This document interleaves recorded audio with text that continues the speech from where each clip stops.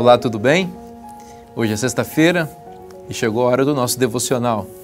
O título de hoje é Ser Limpo.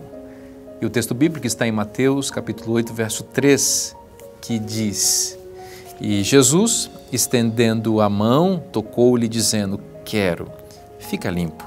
E imediatamente ele ficou limpo da sua lepra.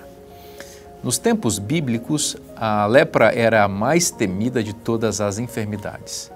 Segundo Ellen White, abre aspas, profundamente arraigada e mortal, era considerada símbolo do pecado. Fecha aspas. Tudo que o leproso tocava era considerado impuro e acreditava-se que até sua respiração era contaminada. Banido da sociedade, da família e dos amigos, sua presença era considerada como contaminadora. Se alguém se aproximasse dele, exigia-se que o doente gritasse: imundo, imundo. A lepra é às vezes chamada de doença anestésica, pois em sua fase inicial não existe nenhum sofrimento, tornando-se ela a mais mortal de todas. Gradativamente, ela consome o corpo da pessoa. Os cabelos e as unhas apodrecem e caem. As juntas dos dedos se reduzem e, em geral, desaparecem. Todo o corpo é atingido. Certa vez, quando Jesus estava ensinando no lago, um leproso observava de longe.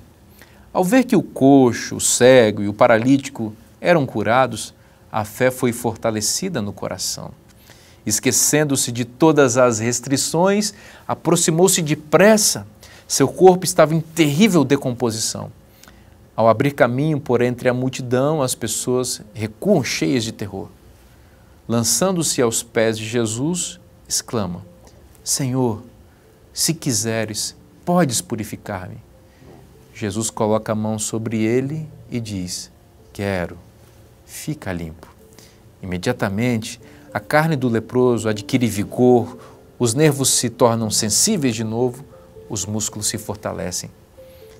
Ellen White explica, abre aspas, a aspereza e escamosidade, características da pele atingida por lepra, desapareceram, sendo substituídas por um tom suave, como o da pele de uma criança saudável. Fecha aspas.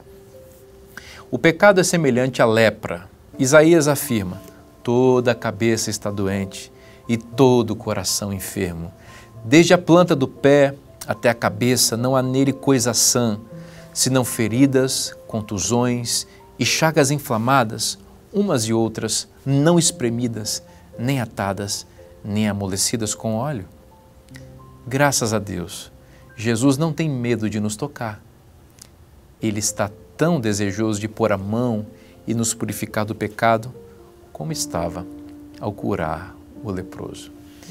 Esse texto foi escrito por Joy Angel Kemer e foi publicado em 1972.